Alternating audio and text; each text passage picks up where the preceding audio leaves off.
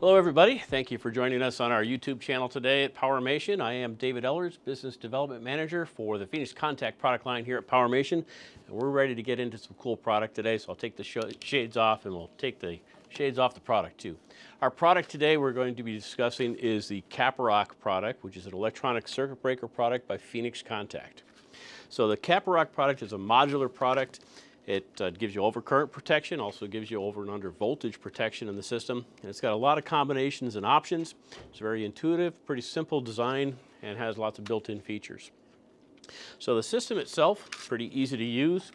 It consists of a, a base power module that you would start with. Then you have individual channels of circuit breakers that you'd come in and apply to the system. There's single channel, two channel, and four channel breakers available. There's a current rail that delivers the current over a backplane to the individual modules.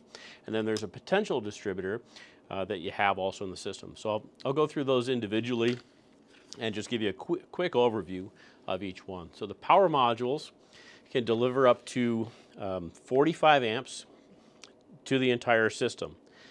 So I simply bring in my, my power at the top, bring my common in to the, the second tap here, and I powered up my um, my power module itself. There's three different versions available. There's a base version that has no communications. This unit that I'm holding here has Profinet communications built in and actually two ports, so it's a switch inside the system. And there's an IO Link version available as well. And then the power module itself, once you bring the power in, it delivers power to the power rail. And the power rail simply would clip into your DIN rail. So if I pull this up, clip it on in place, snap it in, and we're ready with our power rail to go. So once the power rail is there, once you're, you're looking at doing the system, there's a couple different power rails available. So there's the, the base power rails, which would come in two different sizes. There's an eight slot position, which is the one I have here in my hand.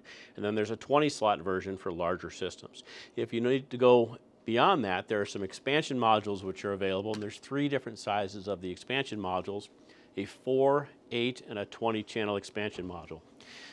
And those modules are clipped together um, at the end of the, the base module. There's a slot in here. I simply put in the power clips to transfer the power across that channel, across the backplane. And all that sits in the background, and then you don't see it once it's installed.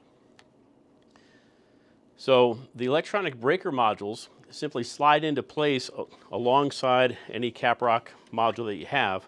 There's grooves on the side. Once it's in the rail, you just slide them together and I can keep adding modules to the system. The uh, modules are available in a fixed current variety in either a 1, 2, 4, 6, or 8 amp uh, applications. Uh, single fixed current, so I don't have any settings. I put it in, and it is what it is. The ones I have here today that I'm showing off are the adjustable versions. And there's three different versions of the adjustable. There's a single channel, which I'm, I do not have here, um, but there's a two channel here on the left-hand side, and then on the right-hand side, there's the four-channel version. If you notice, there's some slight differences between the two. The four-channel version just has um, indicator lights, which are also a push button. And the two channel has rotary switches and that indicator light, which is a push button. And I'll go through those uh, features as we move on. So once you have your power module in place and your breaker modules, Phoenix also has a, a distribution module available or a potential distributor available for your commons. It would simply be another module that would slide in, a little thinner than the ones that we have here, and you can put them in between each breaker or at the end. This gives you the advantage of having the neutrals right next to your power feed out to your device, so you don't require additional terminal blocks on the rail next to your breakers. This kind of assists in simplifying the wiring and just makes the system a little faster to install. So basic operation of the CAPAROC system is, pretty intuitive. There are LED indicators on the front, which give you immediate indication of what's going on with the system. If the LEDs are green, everything's okay and the system's all nice and happy. If the indicators are amber, that means that the load that is currently applied to that breaker channel is at 80% or higher of its rated setting, giving you an indication that you are getting close to having the breaker trip.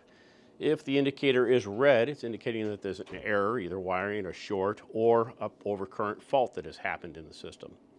The other indication possibly could be flashing, and if, the, if it's flashing green, it means the breaker's okay, but it has not been set or locked down into its pre-configured setting. So somebody has changed the setting and hasn't locked it in and said, yes, that's what I want. And we'll take a walk through how that works right now. The uh, units with the rotary switch, and I'll just slide that off, are pretty simple to configure. There's indications right on the front that tell you the number of amperage that you're using. I just simply put the screwdriver in, turn that to the desired amperage. Once it's set, I press and hold the green button, which would be flashing at this time. Once it stops flashing, I release, and now I've set or locked in that breaker to that desired amperage. And I would do that for each circuit on here. If you have your load attached, it's nice and easy to go through and you rotate your switch. And if you're at full load, it will go from yellow to green when you know you've reached the amount of amperage required for the load that's on the system, and then I would lock that into place. If you have the four channel breaker that doesn't have the rotary switches, it's a little bit different. So if I want to set the first channel here to let's say three amps, I would press and hold that button until it begins to flash, and then the light will flash indicating how many amps the breaker is currently set to. Then I would simply press it sequentially, waiting it for it to flash twice, press it the second time, and now it's flashing three times for my three amp limit. Once it's flashing at the desired limit, then I press and hold again for a couple seconds until it turns solid and the breaker is set. Pretty simple, pretty easy to go. The advantages of doing communications to the system as opposed to using the base power module without communications is I can set all of the stuff I just did here manually, I can set that with the software. So if I'm on Profinet or IO-Link, I have the advantage of doing all sorts of reading data that's available here in the breaker system. I can read the status of any individual breaker, if it's on or off. I can see if it's at that 80% warning level. I can also tell if it's in error. The other things you can do is I can see that what the total current for the system is being drawn. Am I approaching that 45 total amps?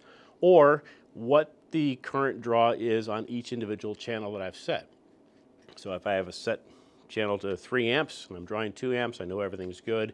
And you can monitor that then in your control system and know very easily if you're going to have any problems with a circuit. If some motor, if you have motors or some other small motors or other small devices, you know as well as I do, if the current starts going up over time, there's something going on in the system that shouldn't be going on. So the data that you can write to using the communication module are things like channel status. I can physically turn the channel on or off across the network. I can set the amperage value, so instead of picking up the controller and going to it and pressing the buttons or turning the knobs, I can write that data down I can also reset a fault. So if I have a tripped breaker, once I've gone and cleared verified the trip, I can reset it remotely. And I can lock the amperage values down. This would then disable either the rotary switches or the push button switches to set the amperage values on the breaker. Very handy if once you have it set and locked into place, you know, it won't get changed without permission. All right, so we've taken a quick break in the magic of editing. We're back together and I've assembled my CAPAROC on my DIN rail and my system is green, powered up and ready to go. Uh, you can see I have three channels on currently and I'm communicating to a PLCnext. So if you take a look over at the software screen, which is being published by our, our PLCnext, you'll see that I have three channels enabled, just like we saw on the front of the CAPAROC. Two of them are set to 4 amps, one is set to 8 amps. So if I go back to the CAPAROC and I take my screwdriver, if you remember these were the ones with the switch, I can turn this second breaker, which is set to 8. My indicator light flashes green, telling me that it's no longer set to the same value. I'm going to press and hold that button. It goes to green here, and now if I look over on the screen, you'll see that my 8 amps has now changed to 6 amps on the screen and I'm good to go. So you'll also notice I can turn these on and off here if I want to and there's an edit button so I could come in and actually edit and change the value. So if I come in and say, hey, I want this 6 to be 8 amps, I'll come in and hit click and it comes back and, hey, wait, what's wrong? It's still at six. Well, in order to do remote control with the CAPAROC on the rotary switches, I need to set it to remote control. So I'll place my screwdriver here in the channel that I want to be able to control remotely. I'm going to set it to the RC indicator there on the CAPAROC breaker. Press and hold and set that in. And then now if we take a look back at the interface coming from our PLCnext on that 6 amps, I can come in and edit. I can change it. Let's change it to 2 this time. Set it down, save the value, and now my value on channel 2 actually says 2 amps. So the remote control is available if you set these to remote control. And now I can come in and I can current lock that. And now if I try to change that here on the breaker itself, it won't allow me to change it because I've locked the nominal current in the firmware or in the software in the CAPAROC system itself. Pretty powerful tool when you have a changing environment, different things you need to do if you're adding something to your machine. Very simple to control, lots of information coming back to your PLC. Get a system, try it out. I know you're going to love it. Thank you for joining me today on the PowerMation YouTube channel. I appreciate your time. And as a thank you gift, I've left a, a, note here below in the description to a link for our quick reference guide on the CAPAROC. In the quick reference guide, you'll find a QR code that will take you to a 3D interactive modeling tool that Phoenix has on the website. I've also included a link to the brochure for the CAPAROC, so all the data that we covered today will be in that. There is also a link for an online configuration tool on the Phoenix Contact website, which will allow you to configure your own system to your specification with all the components and then give you a 3D CAD drawing that you can easily import into your application. Thanks again and have a great day.